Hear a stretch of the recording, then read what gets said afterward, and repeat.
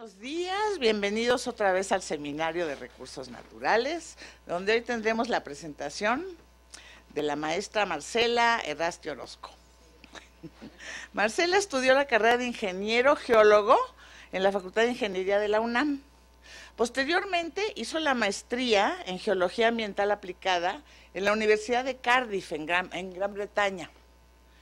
Después la trajo a España. ¿eh? Y se fue a Bilbao, donde trabajó en el, en el, Centro Tecnológico La Bain Tecnalia. ¿sí? Eh, ahí trabajó en proyectos de investigación y desarrollo relacionados con el aprovechamiento de suelos contaminados y residuos de la construcción.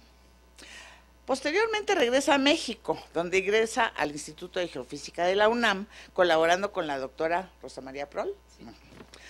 En proyectos de geotermia. Y labora actualmente en el proyecto Mapas de Gradiente Geotérmico y Flujo de Calor para la República Mexicana. ¿Yes? Ok. Además de eso, además de trabajar en eso, es la encargada del Laboratorio de Petrografía y Microtermometría. Chica, es que eres muy joven para poder hacer tantas cosas, ¿eh? Digo. Bueno, como todo científico, presenta sus trabajos y los discute en congresos internacionales con colegas de su especialidad y hoy nos presentará algunos resultados de una interesantísima, una interesantísima conferencia, que es Exploración Geotérmica en Puertecitos, Baja California. Adelante, Marcela. Muchas gracias y bienvenida. Gracias.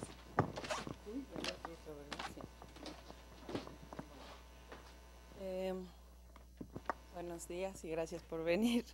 El, traba el trabajo que les voy a presentar. ¿Quieres micrófono? Aquí Ay, tengo. Luego lo, lo puedo decir. Aquí, pero sí me oyen, ¿verdad? Sí. Este, lo estamos haciendo dentro del proyecto de evaluación de los recursos geotérmicos de la península de Baja California, eh, continentales, costeros y marinos, y esto es en el fondo de CENER CONACYT de sustentabilidad. Bueno, les voy a, voy a comenzar.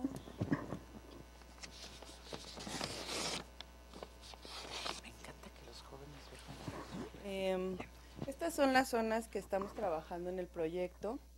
Y la que les voy a presentar hoy es esta, Puertecitos. Eh, es una zona muy interesante. Hemos hecho exploración geológica ahí, hemos muestreado los manantiales. Ah, nos interesa porque hay unos manantiales en la costa, como en esta parte también. Eh, y son muy calientes y nos interesa saber pues más de ellos, sus etapas de alteración hidrotermal, eh, poder lograr eh, dar con la fuente de calor. Entonces también nos interesan los elementos que corresponden a la presente etapa de actividad hidrotermal. Esta es la localización de Puertecitos. Aquí tenemos a Mexicali. Está a 263 kilómetros al sur de Mexicali. Este es Puertecitos. Es que está muy chiquito y se hace como una península pequeña. Es un pueblo de muy pocos habitantes, no recuerdo cuántos. Y pues viven más que nada del turismo y aquí acampan, pero ellos, bueno, les hace mucha falta la, la red, ¿no? Entonces es, estos manantiales, si se pudieran explotar, les vendría muy bien a la comunidad. Está a 75 kilómetros de San Felipe, que es como el otro poblado más civilizado. Y bueno, como les voy a hablar de la geología y la geología del área está dominada por procesos tectónicos que se han asociado con la apertura del Golfo de California. Les voy a comentar brevemente acerca de esto. Entonces fue hace como hace 29 millones de años cuando se dio el primer contacto en la, entre la placa Farallón y la del Pacífico. Aquí está. Y entonces eh, durante el Neógeno se estaba subduciendo la placa Farallón debajo de la de Norteamérica. Esto provocó que la placa Farallón se dividiera en tres microplacas, que son la Soledad, Guadalupe y Magdalena, se les llama. Como consecuencia de este proceso tectónico se produjo un gran, eh, un intenso magmatismo que fue lo que provocó la, los grandes cinturones batolíticos, como es el batolito peninsular que tenemos ahí en Baja California, a lo largo de toda Baja California y está orientado noru-suré. También se desarrolló el metamorfismo regional, volcanes y una serie de fosas oceánicas también. Entonces, eh, por, lo, por, lo, tanto, el vulcanismo de, Baja California durante el neógeno se va a desarrollar con se va a relacionar perdón, con procesos de subducción, con el cese de la subducción, con la transición a rift y con los movimientos transformes. Eh, esta actividad en Baja California fue disminuyendo de norte a sur. Déjame pasar acá. De la misma manera que hacía el cese de la subducción, también fue de norte a sur. Entonces, al norte, en la parte norte, el volcanismo de Arco eh, cesó hace aproximadamente, le ponen los autores periodos de, de 17 a 14 millones de años, mientras que en el sur fue como de 12 a, 16. Entonces, eh, nuestra zona, la de Puertecitos, que está por acá, por aquí quedó, em, está muy afectada durante el proceso de extensión que se documenta alrededor de los 12 millones de años, que es cuando se reconfiguró el límite de las placas con el margen de subducción a un rift oblicuo y también una margen transforme. Eh, la formación del Golfo de California ocurrió en dos etapas eh, principales, ¿no? La, dos etapas mayores. La primera, que fue entre los 12 y los 15 millones de años, que se conoce como la etapa extensional del, del protogolfo hay algunas evidencias que se pueden observar en campo, como las discordancias angulares entre las secuencias volcánicas del Mioceno. Y la segunda etapa, que aún eh, tenemos activa, es la responsable del proceso de rifting oblicuo del sistema y de los centros de dispersión oceánica. perdón, que le moví otra que no era esa. Y este, entonces esto ha definido un arreglo en echelón de las cuencas que forman el eje del Golfo moderno. También esta deformación se inició cerca de los 5 millones de años y la dirección de las fallas atribuidas a este evento es la dirección noroeste, que generalmente están bien expuestas. Por lo tanto, el, área de, Puertecitos ha sido principalmente afectada por la etapa de extensión del Golfo de California, posterior a los 5 millones de años, y pudo haber provocado la actual ubicación de nuestras manifestaciones hidrotermales del área de estudio. Les voy a presentar algo de la geología, bueno, más local. Em, como les decía, este es el área de Puerto, este es un mapa geológico, no sé si se ve borroso, pero bueno. Este es el área de Puertecitos y este es como un zoom de, de esta zona de Puertecitos hacia, aquí hay un volcán que se llama el volcán Prieto, que sería este azul marino. Entonces, aquí, esta área de Puertecito, esta zona de Puertecito se ubica al sur de la falla de San Pedro Mártir, que es una falla bastante importante que va por gran parte de la península, sobre todo en la parte norte, y corresponde también a una zona de acomodamiento tectónico, esta es la zona, le llaman Matomí, esta parte. Entonces aquí termina la falla de San Pedro Mártir y está como, como que empieza la provincia volcánica de Puertecitos, como se le denomina a toda esta zona. Entonces, eh, pues en orden cronológico, tenemos un, un, basamento prebatolítico que lo conforman unidades metamórficas del Paleozoico, que son metasedimentos pelíticos, cuarcíticos y calcáreos, en el área de San Felipe, que queda más acá al norte y en Valle Chico también afloran. Posteriormente eh, se emplaza el batonito, batolito peninsular, que está compuesto por granitos y granodioritas, que sería, y se expone en la Sierra San Pedro Mártir, en la de Santa Rosa y en la de San Felipe. También hay otra que está en Fermín, ah, por acá un poquito. Y este, bueno, posteriormente tenemos la sucesión volcánica de la provincia volcánica de Puertecitos, que se puede agrupar en tres secuencias volcánicas. basándonos en, sus características petrológicas, en sus edades y en la, estratigrafía. Entonces, por lo que tenemos, bueno, estos grupos de la provincia eh, volcánica Puertecitos nos van a reflejar la transición del régimen de subducción que les mencionaba a la apertura del Golfo de California.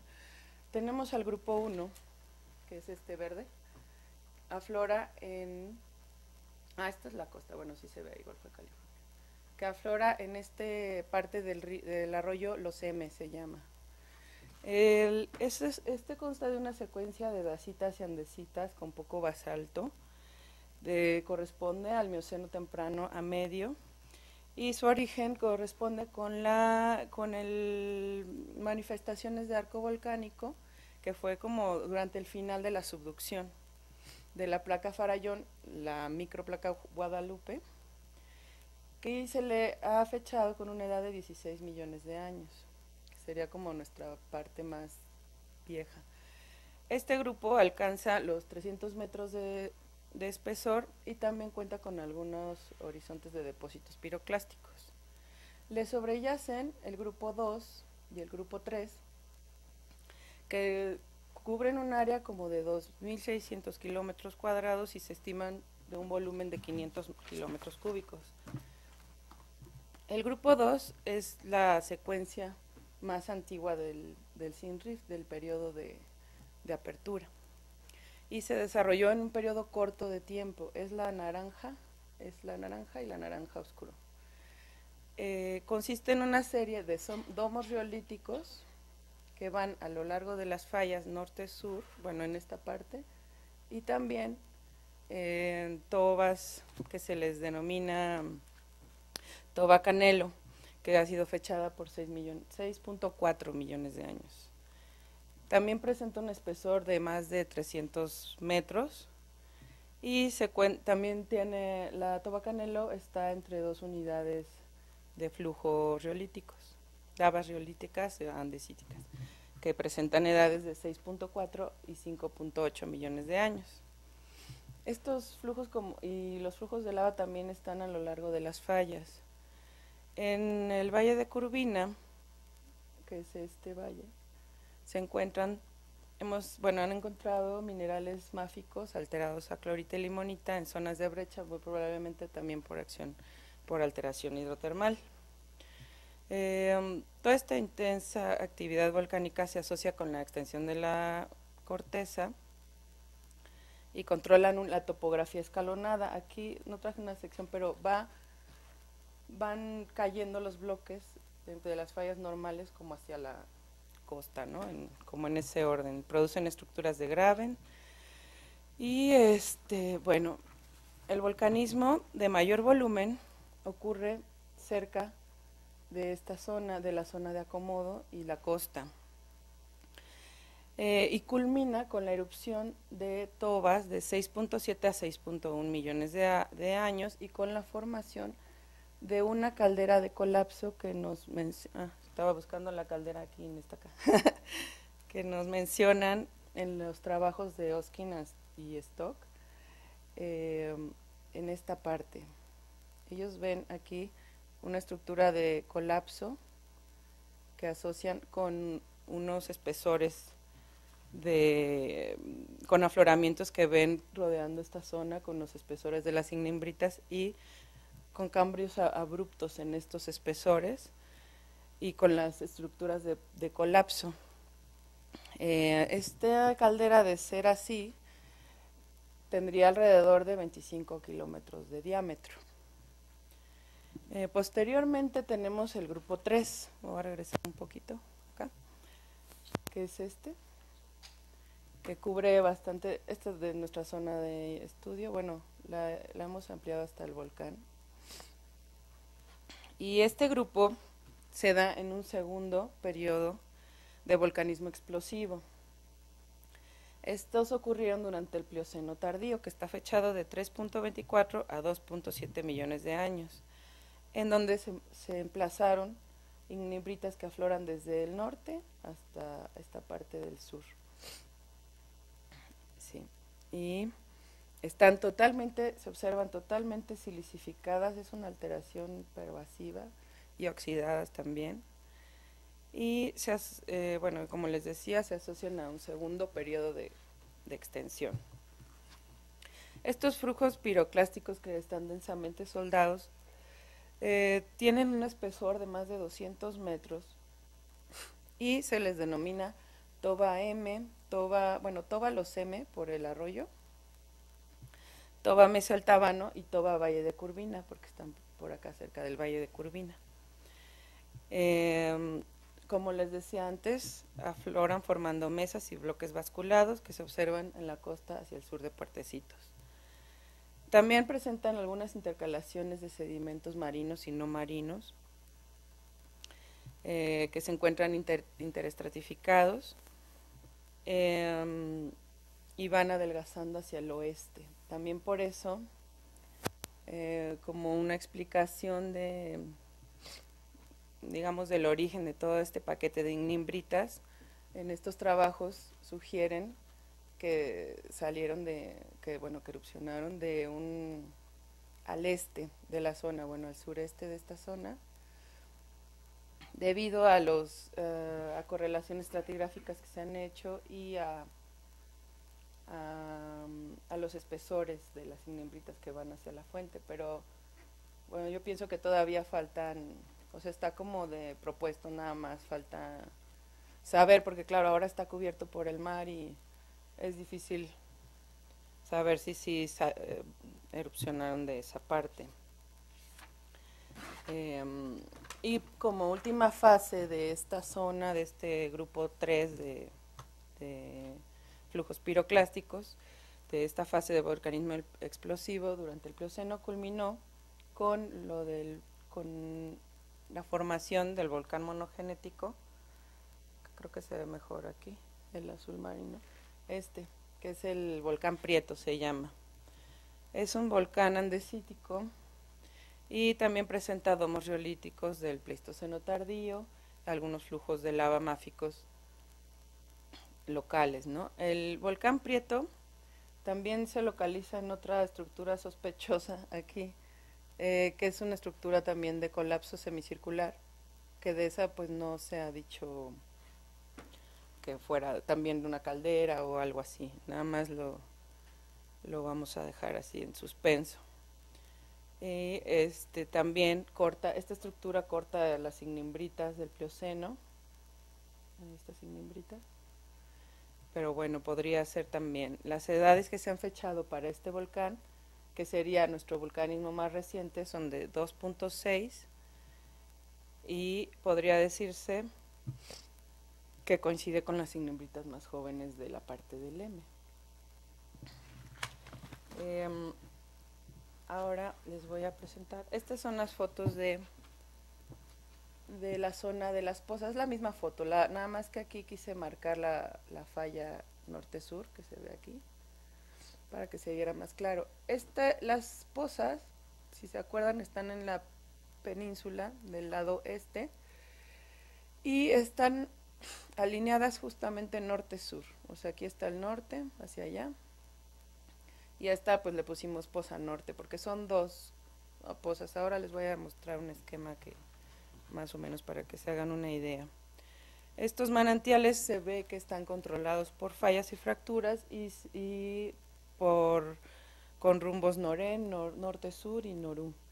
Eh, las rocas que contienen son todas ignimbritas del último grupo 3, que están fuertemente alteradas por silicificación y oxidación, y pues seguramente por acción hidrotermal. ¿no? Em,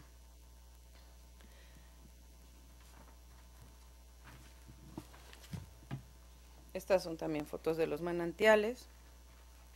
Son unos manantiales que, bueno, nosotros tomamos estos datos de temperatura, que son de 56 a 74, claro, durante marea baja. Y bueno, fue la máxima temperatura que alcanzan. Actualmente se usan de actividades de recreo, de hecho la persona que tiene como el acceso cobra y la gente va ahí a, a bañarse. Pero bueno, de, a pesar de, que son temperaturas altas, el agua pues está mezclada con agua de mar porque está en constante contacto, ¿no? Lo mismo con el pH, nos dio de 6.5 a 6.9, pero pues está, sí está mezclada el agua. Eh, nosotros hicimos un muestreo alrededor de las pozas, de rocas y de agua, y en vetas que, había, que hay ahí, ahorita les voy a enseñar y se analizaron las muestras. Bueno, estamos todavía, eh, pues hemos hecho espectroscopía de infrarrojo, petrografía de las láminas delgadas de las rocas, DRX, inclusiones fluidas. Eh, pues algunas muestras las hemos metido al microscopio electrónico de barrido, a la microsonda. Hemos medido parámetros físico-químicos en campo y los análisis de elementos mayores y traza no se asusten, es un esquema, es un esquema de planta de más o menos cómo quedan las pozas. Esta es la poza norte que les conté, esta es la línea de costa y esta sería como la poza sur que le llamamos. Entonces aquí tomamos las muestras, es más para enseñarles algunos de los principales minerales que se encontraron en las láminas, bueno, en las muestras, en las láminas delgadas y que que ha sido curioso porque entonces nos dimos cuenta que han habido unos cambios en, en, los fluidos y en los pHs de los fluidos y por lo que este, la paragénesis mineral en, las, en esta zona queda más o menos así, en donde pues se han es una forma de, de, bueno, de enseñarles las fases de depositación de los minerales, ¿no?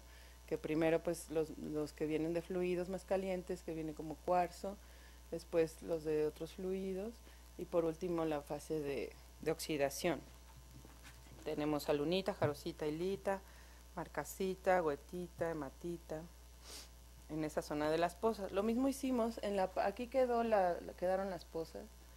También hicimos un muestreo a lo largo de, pues, de, de esta parte, porque aquí hay un como un salto hay un salto y esta zona está altamente silicificada y se encuentra como a 60 o más metros por sobre el nivel del mar. Aquí hay una, justamente aquí hay una falla y como que cayó este bloque, este de aquí, y entonces muestramos, digamos que en la parte de arriba o en la parte sobre el nivel del mar, ¿no?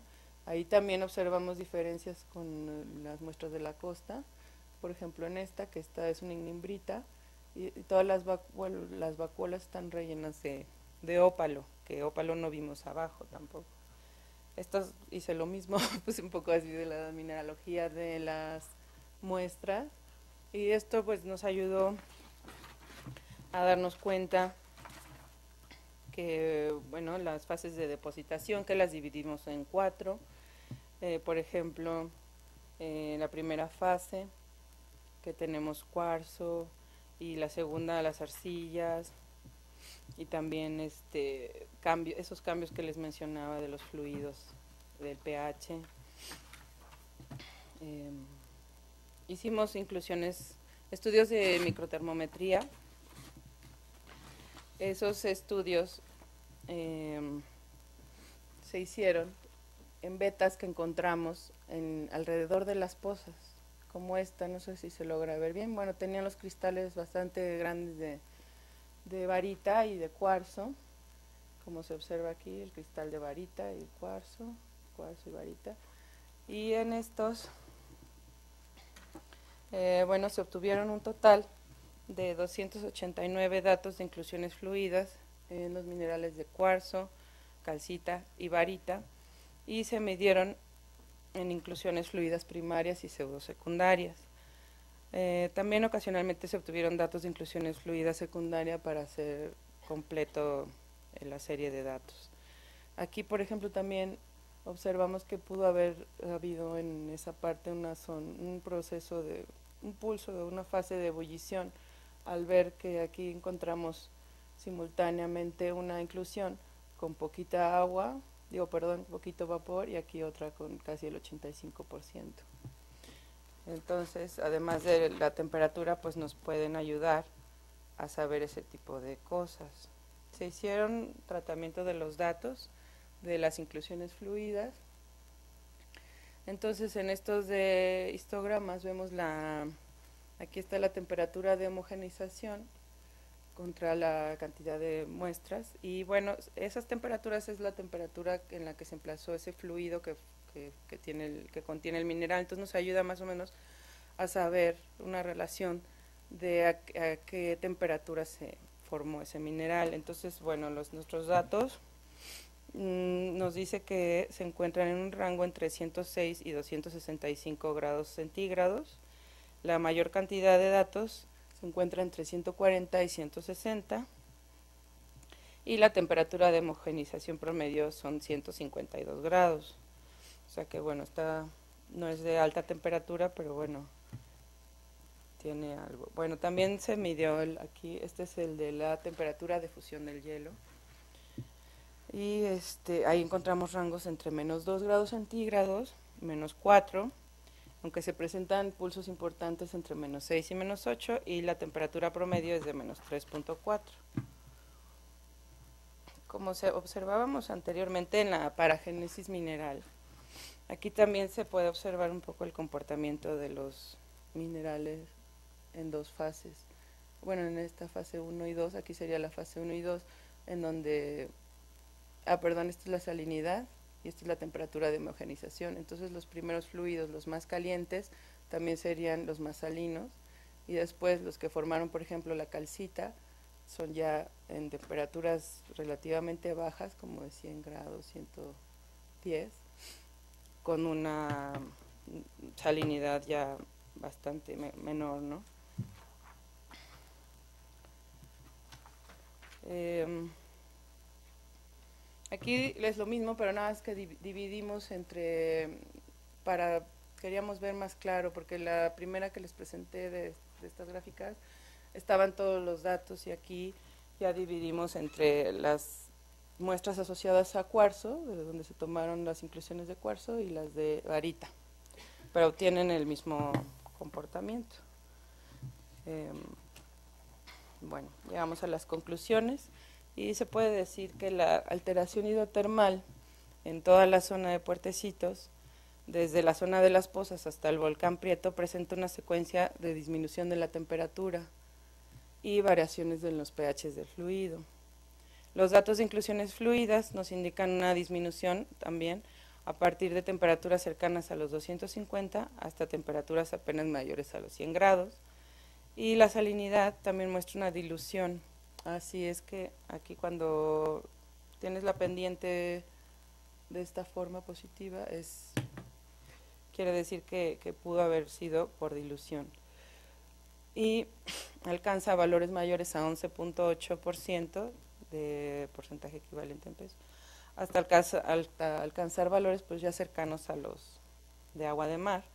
Los manantiales tienen temperaturas superficiales de 56 a 74 grados centígrados y el pH del agua oscila entre 6.5 y 6.9, bastante alcalino. Y la salinidad que tomamos ahí fue, pues nos salió menor al agua de mar. Eh, estamos trabajando en los geotermómetros, pero de momento, bueno, indican temperaturas superiores a los 150 grados y no se observa una relación especial con el volcán Prieto. Parece que se fue un un evento más aislado, o sea, como que se dio y no tiene relación con la zona de las pozas o con las inembritas del último grupo más reciente. Ya, es todo. Gracias.